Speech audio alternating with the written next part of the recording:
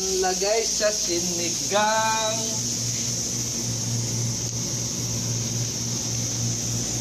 Dito, kangkong. O parang nanggugupit lang ng ano.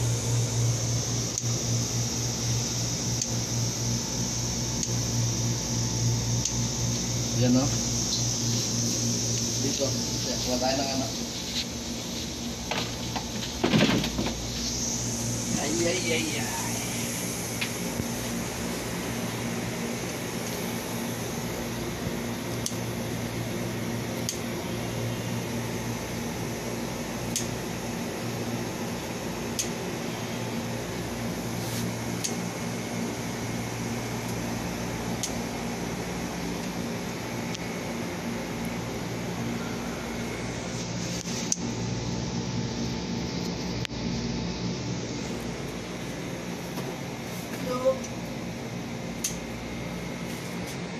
ay. Yan, Magsasalayan.